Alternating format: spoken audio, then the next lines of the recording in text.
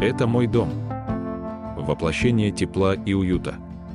У каждого человека это слово вызывает нежные чувства. Дом – это не просто строение из кирпича и бетона.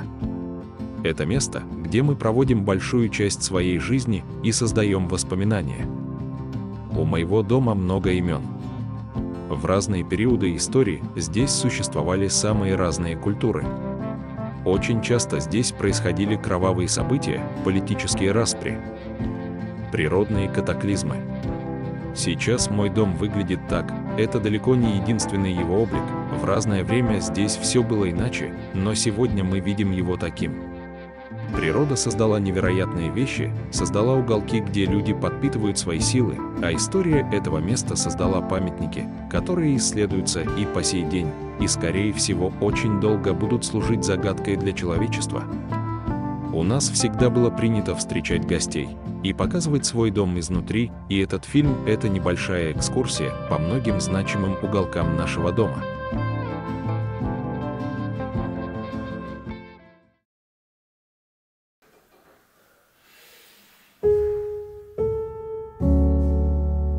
Генеральские пляжи – это примечательный во многих отношениях участок берега Азовского моря и является частью Караларского природного парка, гордости Керченского полуострова. Генеральские пляжи представляют собой протяженную песчаную береговую линию, обладающую пронзительной красотой незатронутого цивилизацией природного уголка. Немного удивительно обнаружить такую местность всего в 30 километров от Керчи. Впрочем, есть причина, по которой данная территория оказалась практически нетронутой.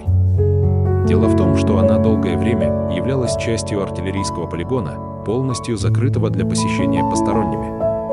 А живописную песчаную бухту, получившую теперь название Генеральская, в ту пору избрало как место своего проживания военное начальство. В настоящее время эта территория уже не принадлежит военным. Теперь она отдана тем, кто желает отдохнуть на Азовском море в Крыму. И здесь очень здорово, приятно находиться.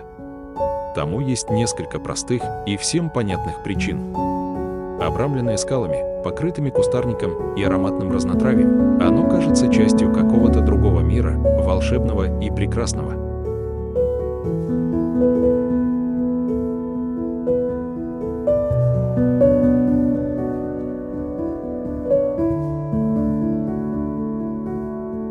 Мыс разделяет Арабатский и Казантипский заливы.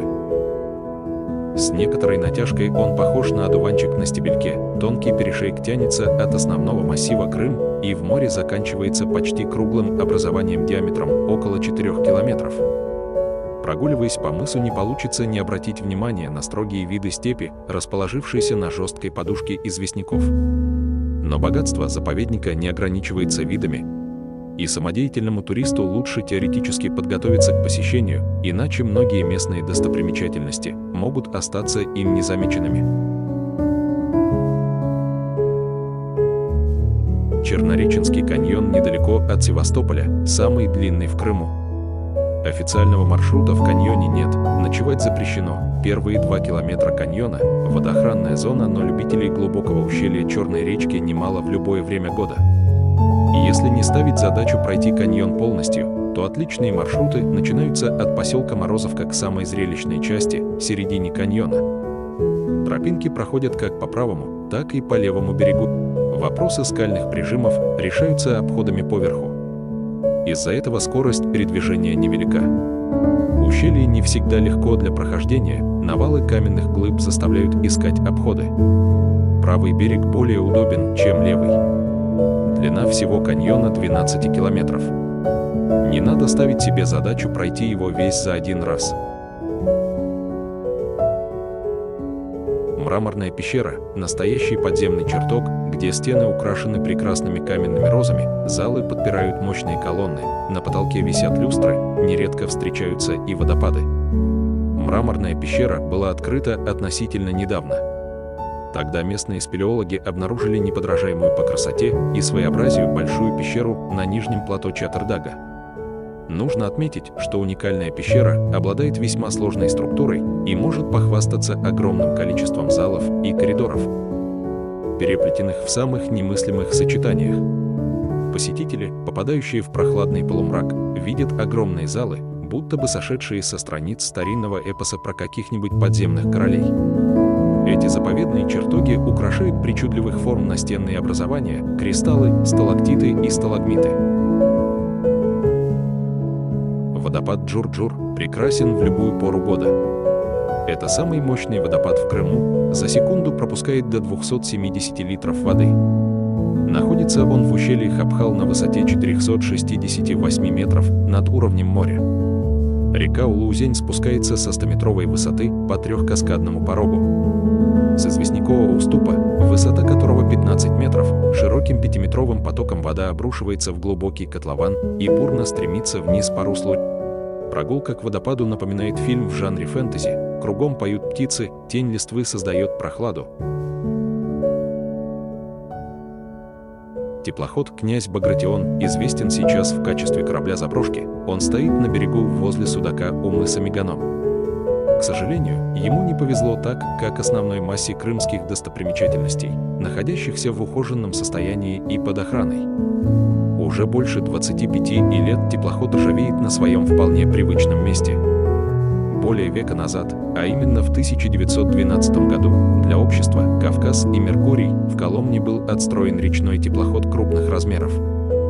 Теплоход был великолепен, по задумке создателей он вмещал 340 пассажиров, размеры судна позволяли всем разместиться внутри достаточно комфортно. Корпус корабля был изготовлен из немецкого металла самого лучшего качества. За движение князя Багратиона отвечали две паровые машины, позднее их заменили дизели. Начало карьеры этого речного судна пришлось на реку Волга. Даже революция не смогла стать помехой в этом деле. Гражданская война превратила пассажирское судно в боевой корабль. Тем не менее, в 1919 году теплоход официально переименовали в «Товарища Маркина». В 1992-1994 годах теплоход выступал в качестве плавучего ресторана в Феодосии и даже пользовался популярностью.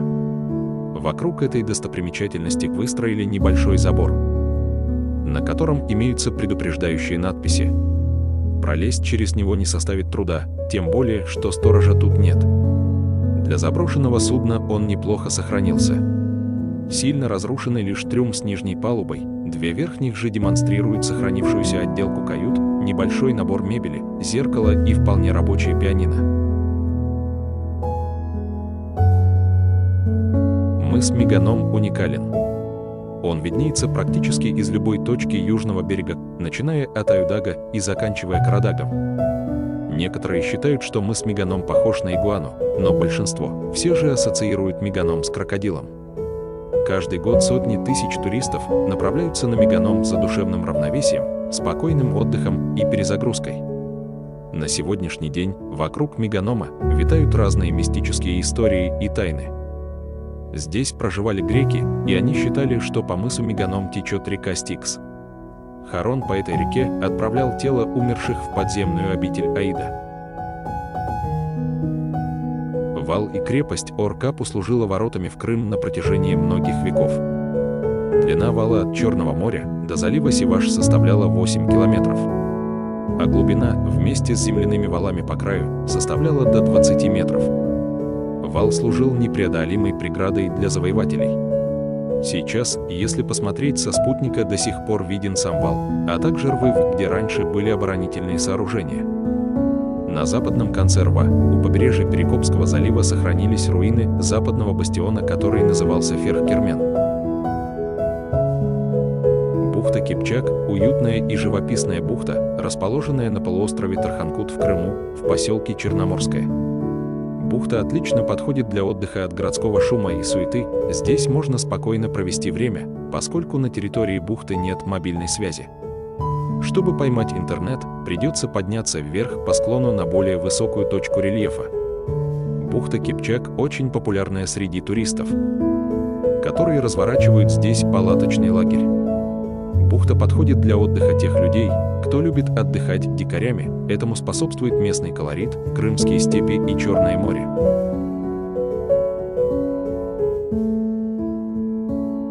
Отдых на Тарханкуте – одно из самых известных и популярных у туристов направлений. Роскошные виды на прибрежные скалы, омываемые Черным морем, не оставят равнодушным ни одного путешественника. Большой Атлеш представляет собой 40-метровую каменную арку, уходящую в море от высоких прибрежных скал. Малый Атлеш насквозь пронизан 98-метровым тоннелем, который ведет от открытой морской глади до полости 150-метровой пещеры. Тарханкутский полуостров привлекает не только привлекательными морскими пейзажами, но и интересными развлечениями для туристов любого возраста.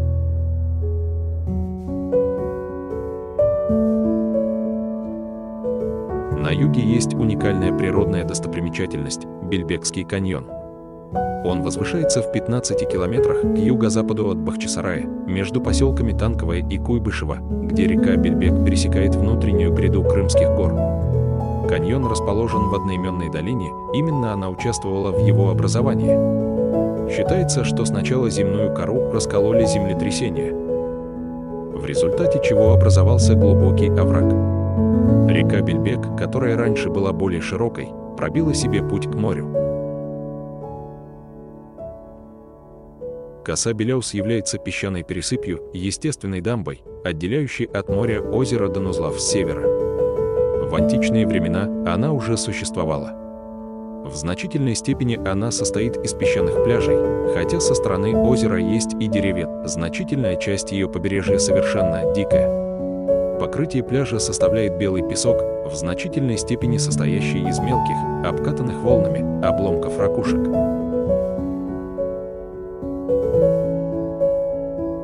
Пещера имени Баир-Хасар считается одной из немногих в Европе, сохранившей первозданный вид, несмотря на посещение туристов. Практически нетронутый человеком ландшафт пещеры удалось сохранить благодаря ее труднодоступности. Находится пещера имени Баир-Хасар на склоне Чатардак недалеко от Симферополя. Для туристов открыт только верхний ярус пещеры, не больше 700 метров. Вход в средний и нижний ярусы законсервирован. Там находится природный минералогический музей-заповедник. В имени Баир-Хасар ученые обнаружили останки животных ледникового периода. Самый высокий водопад Европы. Водопад Учанцу расположился высоко в горах, на высоте 390 метров, выше уровня моря. Если перевести с тюркского Учанцу, означает «летящая вода». Водные потоки падают с высоты более 100 метров. В летнее время он пересыхает, поэтому, чтобы увидеть Учансу во всей своей красе, нужно приехать сюда в начале весны во время периода активного таяния снега. Скала Дива является отверженцем. Несколько миллионов лет назад она откололась от основного массива Крымских гор и движется по направлению к морю. К вершине Дивы ведет тропинка. Чтобы обезопасить подъем, установлен подвесной мост и лестница с перилами всего около 280 ступенек. Со смотровой площадки открываются великолепные виды не только на Семис и Кошку, но и на Айпетре. По легенде, скала Дива – это злой дух. Обернувшийся красивой девушкой, которую за злые деяния добрые силы превратили в камень, чтобы насладиться красотой незабываемых ландшафтов и пейзажей Семииза, можно подняться на видовую площадку по специально оборудованной тропе лестницы, с вершины можно оценить неописуемую красоту моря, которое здесь в любое время года имеет нежный бирюзовый цвет. Ежегодно тысячи любителей звездного неба приезжают сюда за романтикой и яркой палитрой незабываемых впечатлений. Расположенная в горной местности на высоте 600 метров над уровнем моря Крымская астрофизическая обсерватория – идеальное место для исследования Солнца, звезд и галактик, объектов Солнечной системы. В год здесь бывает около 170 ясных ночей. Даже если вы далеки от науки, вы будете в восторге от созерцания сияющей россыпи звезд и вида впечатляющих телескопов-гигантов. Здания в стиле сталинского ампира на территории обсерватории и добротный советский колорит научного городка подарят вам настоящую прогулку в прошлое.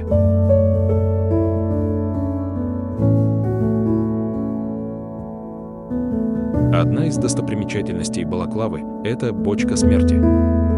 Это зловещее название немало способствует ее популярности у гостей города. Бытует мнение, что бочка названа так из-за того, что во время войны она стала местом расстрела фашистами пленных советских солдат. Однако, не подтвердить, не опровергнуть эту версию пока никто не смог. На самом деле, бочка – это часть южного форта Балаклавы.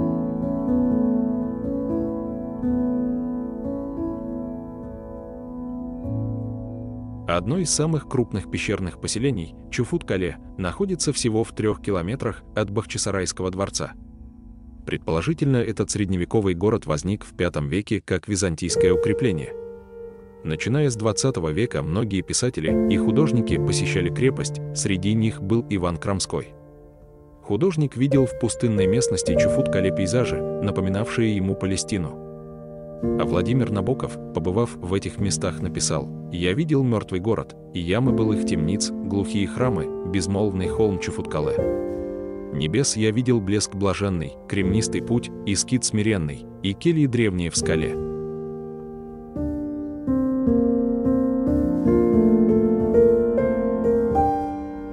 Еще одна затерянная бухта на Тарханкутском полуострове для дикого отдыха. Когда-то здесь было древнее загадочное поселение, о чем свидетельствуют многочисленные археологические находки.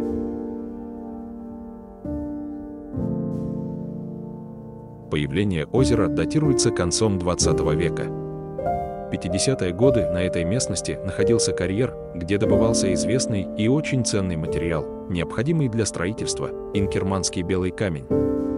Водоема на территории карьера не предполагалось, но природа была сильнее, и вскоре из-под земли хлынул поток воды. Сегодня озеро имеет форму четырехугольника, достигает глубины 12 метров. Края его обрывистые, оставшиеся стены карьеров. Вода в озере и по сей день кристально чистая, а берега пустынные и тихие, поэтому многие туристы приезжают сюда именно понырять и пофотографироваться. Ходят слухи, что после затопления на дне озера осталась вся техника, которой пользовались рабочие во время добычи камня, но ни одна группа ныряльщиков эти аппараты не нашла. Интересно и то, что круглогодично озеро подпитывается подземными источниками, благодаря чему вода остается прохладной, но зимой не застывает. Горная тропа Голицына расположилась на территории скального амфитеатра в западной части Зеленой бухты. Она идет на высоте от 30 до 50 метров от подножия горы Кобакая вдоль Пиратской бухты к выдающемуся мысу Капчик, откуда открывается невероятный вид. Поскольку рельеф неровный, прогулка займет около двух часов. В ясную погоду с нее можно увидеть мыс Меганом и Судак. История этого места начинается еще в древние времена, когда в пещерах Кобакая проживали первобытные люди. В Средневековье же здесь располагались пещерные храмы, и до 19 столетия на стенах пещер можно было разглядеть расписанные иконы. К сожалению, до наших дней они не сохранились. Спустя столетия основоположник российского виноделия Лев Сергеевич Голицын скупил здешние земли с целью производства игристых вин. Генуэзская крепость – главная достопримечательность Судака. Это могучая древняя цитадель, построенная генуэзцами и являющаяся главным форпостом Генуи на территории Крымского полуострова в эпоху Средневековья. Крепость датируется 14 столетием и очень хорошо сохранила оригинальную оборонительную архитектуру, включающую зубчатые стены, башни, замок консула и несколько других сооружений. Судакская крепость начинается у подножия крепостной горы и поднимается к ее вершине. Она фактически состояла из двух частей – внешний периметр стен с воротами, где находился Нижний город, а также, собственно, цитадель с замком консула и дозорной башней на самой вершине.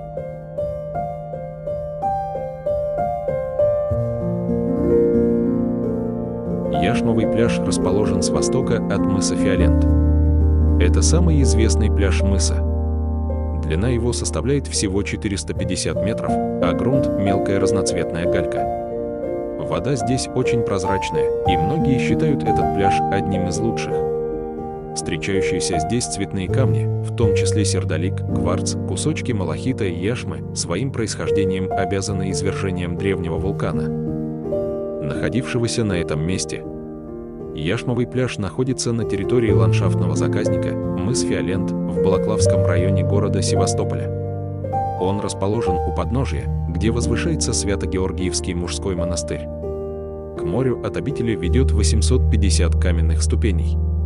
Сложный подъем по лестнице компенсирует потрясающие пейзажи, открывающиеся путнику.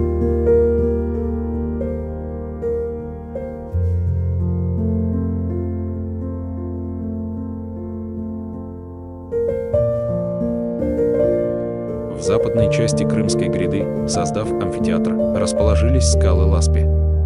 Здесь, на высоте почти 500 метров, протянулся Ласпинский перевал с обустроенной смотровой площадкой, откуда открывается впечатляющий вид на одноименную бухту.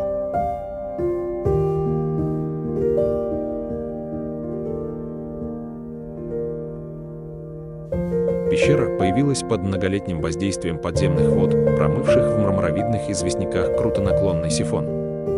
Впоследствии часть пещерного свода обвалилась, образовав обширный подземный зал. Сталактиты и сталагмиты росли навстречу друг другу, тем самым разделив галерею на несколько небольших залов. Обширная подземная галерея разделена кальцитовыми стенами на несколько залов поменьше – Каждый из них поражает разнообразием и сохранностью натечных образований, их сплетение порождает в воображении диковинные образы и фантастические картины. В отличие от других подземных полостей, сифон Скельской пещеры не уходит ни глубину, а поднимается вверх.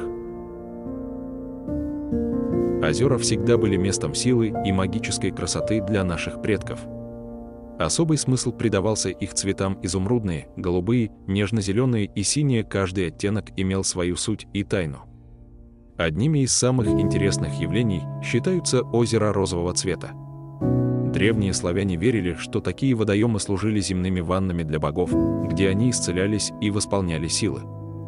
За насыщенный розовый цвет озера отвечает уникальная водоросль Дуналиелла салина – Именно она окрашивает воду Сосык-Севаша в мае-июне в ярко-розовый цвет, а в августе-сентябре – красно-оранжевый. Также цвет зависит от температуры воздуха.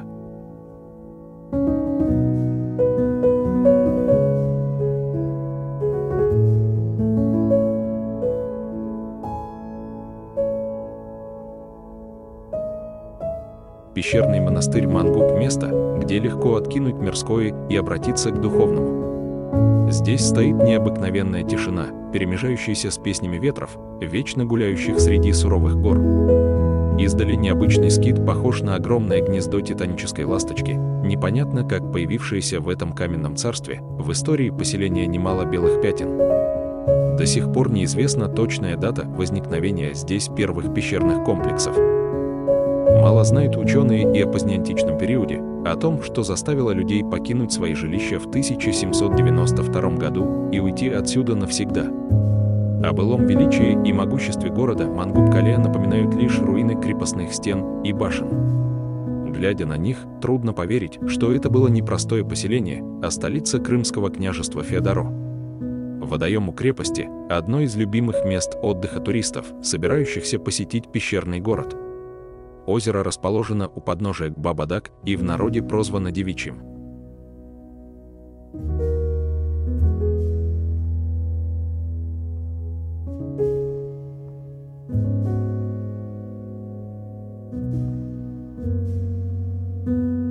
Кизилкоба – самая крупная пещера на территории Крымского полуострова. Кроме того, карстовая полость, ее образующая, является крупнейшей во всей Восточной Европе. Необычным явлением для крымских пещер является наличие в них рек, которые, собственно, и вымывают все новые и новые части карстовых полостей. Здесь находятся подземные озера и ванночки, в кристально чистой воде которых можно найти пещерный жемчуг. Красную пещеру пересекает река Кизелкабинка, которая вырывается на поверхность, образуя водопад Саучхан. Он является самым большим из серии водных каскадов на Кизилкабинке, его высота достигает 25 метров. Водопад Саучхан очень живописен в весенний период. Он состоит из одной мощной широкой струи, вокруг которой образовались маленькие струйки, которые удачно дополняют общую картину водопада.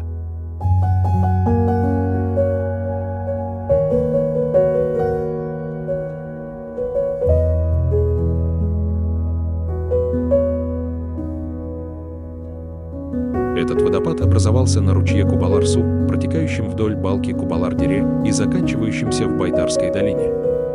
Высота водопада около 11 метров. Пик активности приходится на март-апрель. Название водопад получил благодаря туфовому козырьку, нависающему над скалистым обрывом. Цельная стекающая струя настолько прозрачная, что сквозь нее можно увидеть грот, находящийся за ней. Вода водопада сливается в небольшое озерцо, которая имеет красивый зеленоватый оттенок.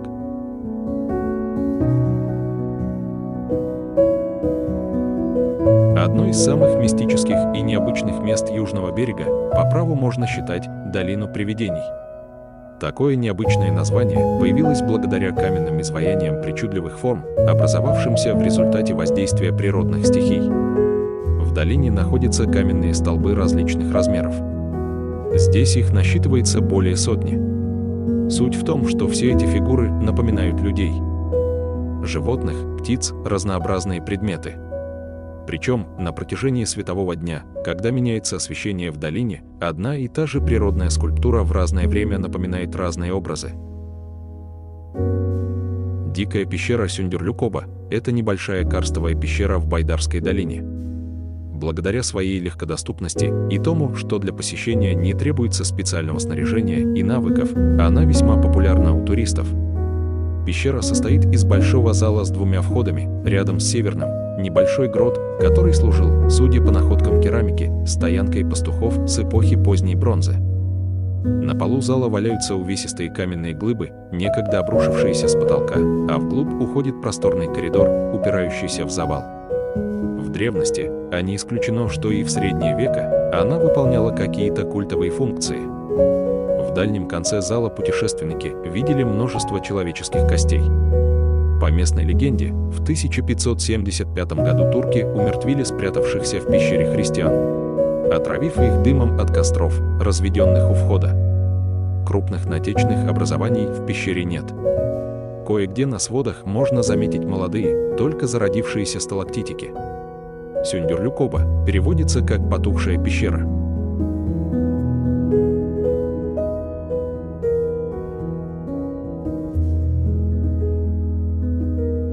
Многими туристами исторические кварталы старинных населенных пунктов воспринимаются как сплошное музейное собрание. Старый город в Евпатории состоит в основном из обычных жилых строений, причем не самых богатых с точки зрения современных представлений о комфорте. Но дело тут не в комфортабельности, а в колоритности. Маршрут по этим религиозным центрам известен в Евпатории как Малый Иерусалим. Он напоминает о том, что в султанской Турции и подчиненных ей землях, вопреки распространенным заблуждениям, существовал высокий уровень религиозной терпимости, и там разрешалось исповедовать не только ислам. Застройка этих кварталов позволяет живо представить, какой была Евпатория 100-150 лет назад. В последние годы тут идут масштабные реставрационные работы, но с учетом духа и колорита местности. Так что туристам стало только интересней. Гулять по нему нужно пешком и желательно с городским планом или навигатором. Старинная планировка сродни легендарному лабиринту. Малый Иерусалим включает в себя культовые строения разных религий и конфессий. Ислам представлен знаменитой мечетью Джума-Джами, она же Хан-Джами, и такие дервишей, нечто вроде временного монастыря или гостиницы для странствующих священнослужителей. Караимскую религию, тоже иудаизм, но без Талмуда, представляет комплекс караимских кинас. Они хорошо отреставрированы и представляют собой главный религиозный оплот крымских караимов. Но туристов туда пускают без проблем. Но культовыми строениями достопримечательности старого города в Евпатории не ограничиваются. Фактически, там каждый второй дом – интересное место –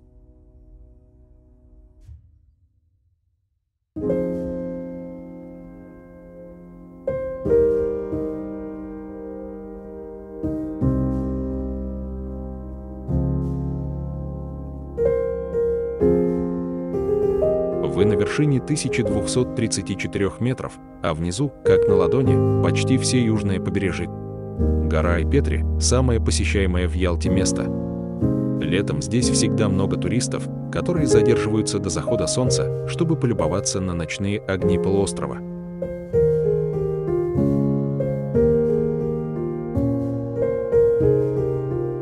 Свое название гора получила благодаря очевидному сходству с медведем, который, будто наклонившись, пьет воду из моря. Большинство ученых склоняются к мнению, что Аюдак – это локалит, несостоявшийся вулкан, образовавшийся около 150 миллионов лет назад, еще в эпоху динозавров. Мощь вулкана была невелика, и лава его, едва выйдя на поверхность Земли, застыла своеобразным куполом.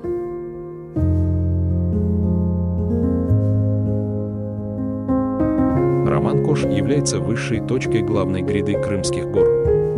Ее высота составляет порядка 1545 метров. Роман-Кош расположена на территории знаменитого Крымского природного заповедника рядом с Гурзуфом. Местные жители называют эту вершину Крымским Эверестом. Здесь установлена каменная плита и большой крест. Роман-Кош представляет собой холмистое плато, покрытое известняками и травянистой растительностью. Она относится к горному массиву Бабуган-Ила и расположена недалеко от курортного города Гурзуф.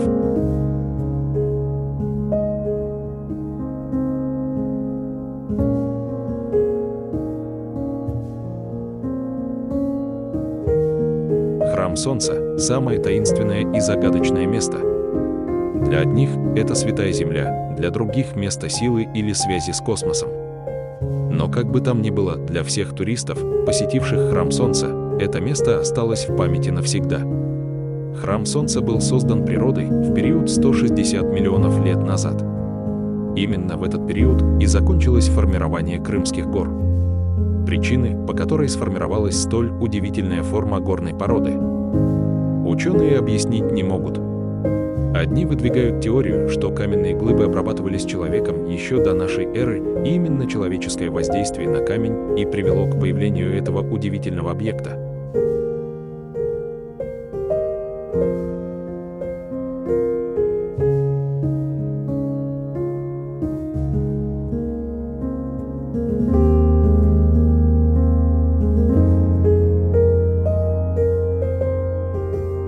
40 километрах от Бахчисарая раскинулась потрясающая природная достопримечательность под названием Кабаний перевал. Она появилась в результате естественных метаморфоз природного характера и является излюбленным местом путешественников. Кабаний перевал является достопримечательностью природного характера. Здесь любят бывать туристы, предпочитающие спокойный отдых и уединение с природой. Дорога петляет сквозь лесные массивы и частично проходит через залитые зеленью луга. Здесь расположены озера с просторной водной гладью, где водятся различные рыбы.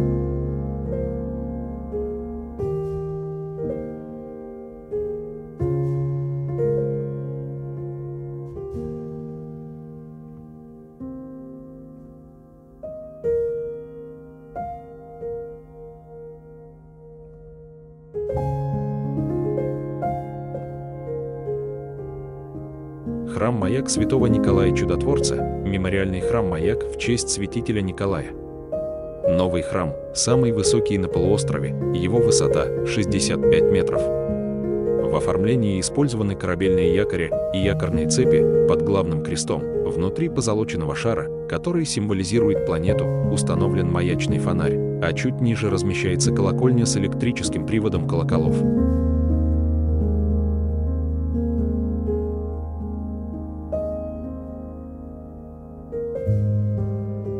Херсонес Таврический – большой музейно-археологический комплекс в Севастополе на месте крупного античного полиса. Древний Херсонес – это наследие греческих колонистов, византийцев, генуэзцев.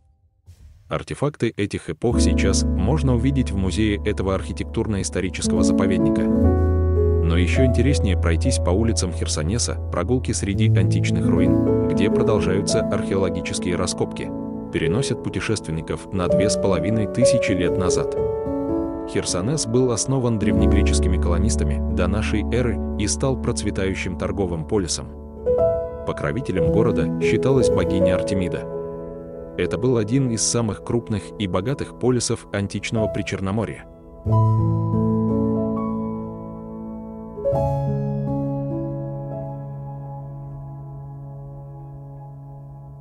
У подножия Айпетри в Алупке возвышается величественный Воронцовский дворец.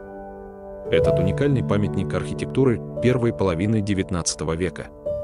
Дворец был построен по проекту известного английского архитектора Эдуарда Блора, который впоследствии был придворным архитектором английского короля Георга, затем королевы Виктории.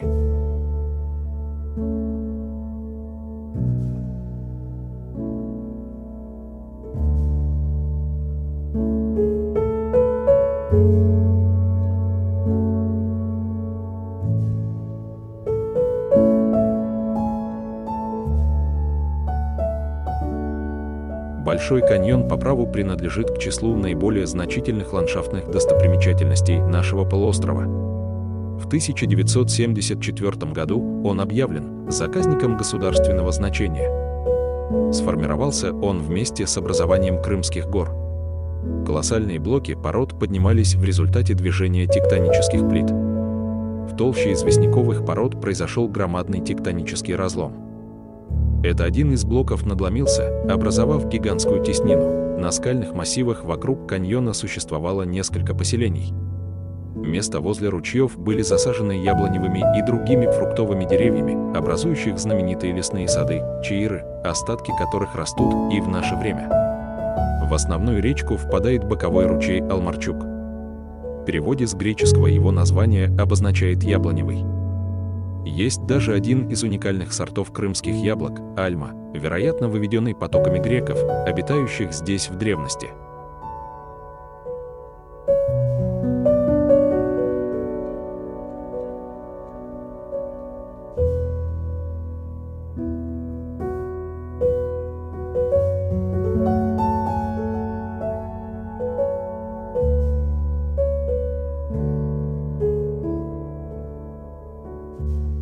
Шейтан-Мердвен или Чертова лестница является одной из самых интересных достопримечательностей Байдарской долины.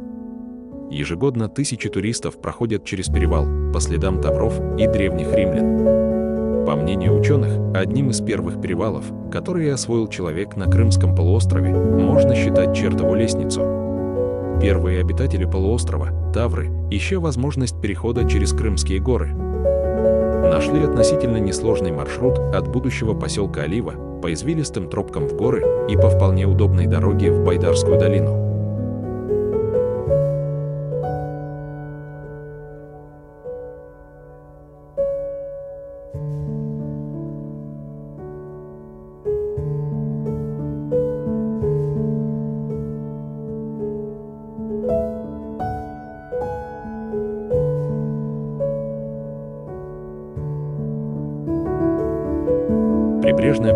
Урочища Джангуль растянулась на 5 километров вдоль береговой линии между поселками Черноморская и Оленевка, неподалеку от Караджинской бухты. Крайний запад Крымского Крайнего Запада так охарактеризовал бы его какой-нибудь художник-пейзажист или кинорежиссер-документалист. Побережье Джангуля представляет собой полосу хаотически нагроможденных глыб известняка. От пустынных степных участков они спускаются к морю ступенями, образованными оползневыми процессами.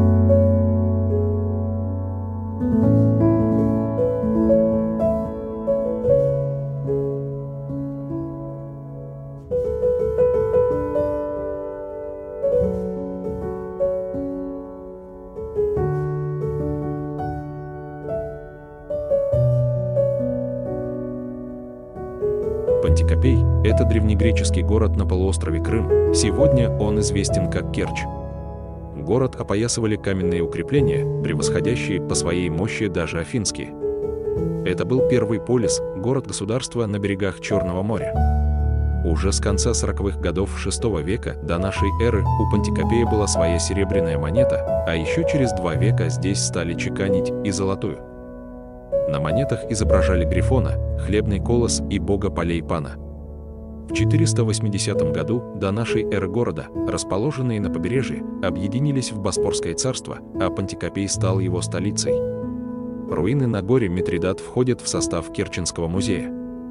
Фрагменты оборонительных сооружений, общественных зданий, жилых домов и склепов можно увидеть и сегодня – Главным символом античного города стала высокая арка с колоннами и резными каменными портиками. За годы археологических раскопок удалось собрать коллекцию расписной керамики и монет. Надписи на камнях и глине помогают ученым подробнее узнать об истории древнего царства Боспор.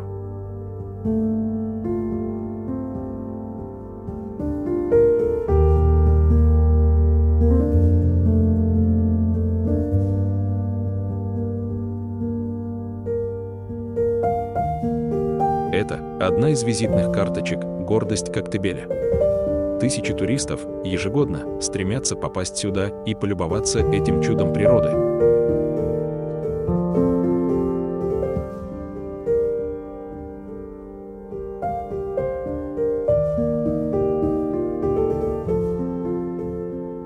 Грот Дианы имеет такое же мистическое происхождение, как и легенды, связанные с ним. Фактически, весь мыс Фиолент появился на месте извержения древнего вулкана. Со временем языки лавы превратились в пещеры. Также образовалась и местная достопримечательность.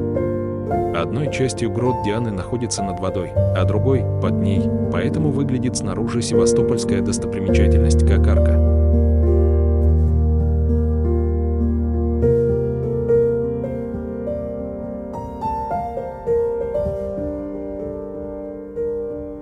Одна из тайн Фиолента, которую можно открыть в пешеходном путешествии по его неповторимым бухточкам и скалам, скала-дракон на мысе Виноградный.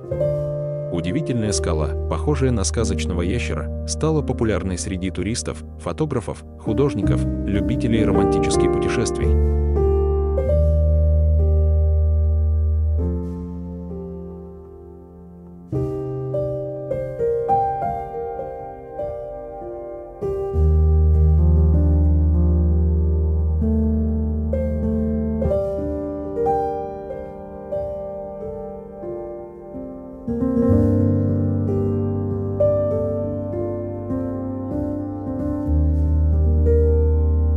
Чернореченский акведук не является популярной достопримечательностью среди туристов, а вот местные жители очень любят это место и выезжают сюда на пикники. Речка Черная очень небольшая и неглубокая, искупаться в ней не получится, но посидеть под сенью деревьев – довольно приятное удовольствие. Акведук строил английский инженер Джон Уоптон, который разработал и построил водопровод от Черноречия до Корабельной бухты Севастополя протяженностью 18 километров, состоящий из ряда тоннелей. Руины акведука сохранились по сей день.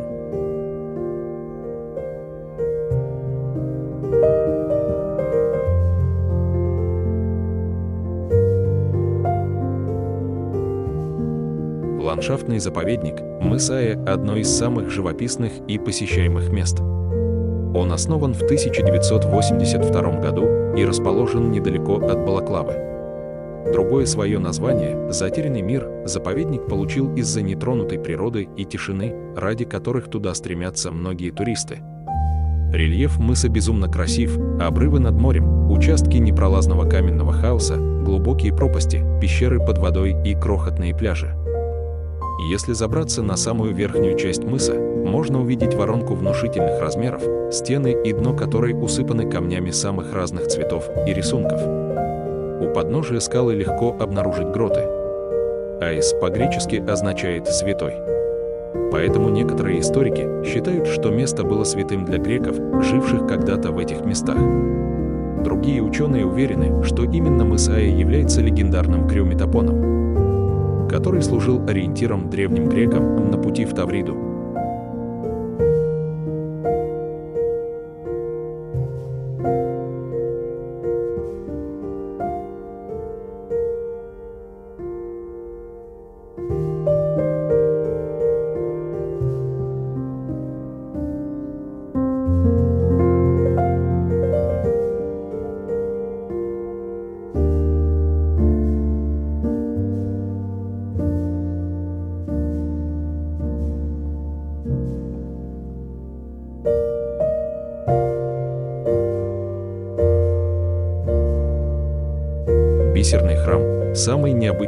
православный храм. Скит Анастасии у зарешительницы недалеко Бахчисарая – это возродившийся древний монастырь пещерного города Качекальон. После бисерного храма обязательно надо подняться на вершину мыса, к обрывистым скалам и потрясающим видам на Качинскую долину. Изюминка скита – это обилие бисерных мозаичных украшений. А чего так храм и называют бисерный? История такого решения интересна, когда только начали возрождать монастырь, средств было немного, к тому же в штольне было очень сыро, для краски и бумаги не лучшие условия. Украшали храм тем, что оставляли сами верующие браслеты из бисера, бусы, ленты и так далее. Так рождался стиль скита Анастасии у зарешительницы.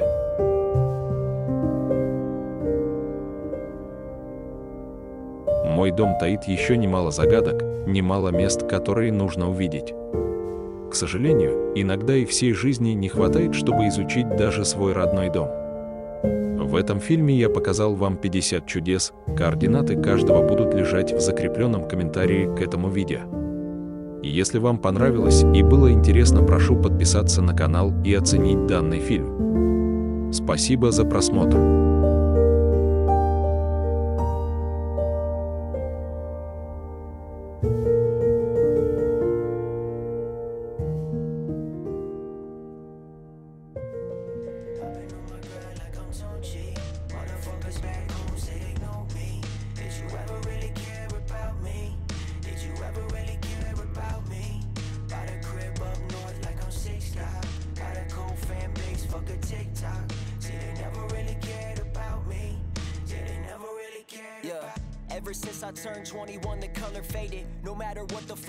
I end up feeling jaded. And any sign of joy I feel only gets sedated. And any sign of hope is cut off and eliminated. Tell me why I feel the need to want our instrumentals. I never feel any different, not even incremental. And all these fans look at me like I'm a therapist. I'm barely standing, trying to find my balance on the precipice. Yikes.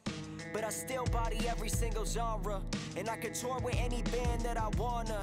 So tell me how to find the light in the darkness. I'll show you how to make yourself the biggest target. I wanna wake up in the eighth grade, mama downstairs yelling up that I'ma be late. Just to realize that all of this was a bad dream, so I can set my life on a different path and be happy. I wanna wake up in the eighth grade, mama downstairs yelling up that I'ma be late. Just to realize that all of this was a bad dream, set my life on a different path and be happy. I've been on my grind like I'm Tone G. Motherfuckers back home say they know me. Did you ever really care about me? Did you ever really care about me? Bought a crib up north like I'm six God. Got a cold fan base, fuck a TikTok. See, they never really cared about me. See, they never really cared about The cult of the Reaper saved me.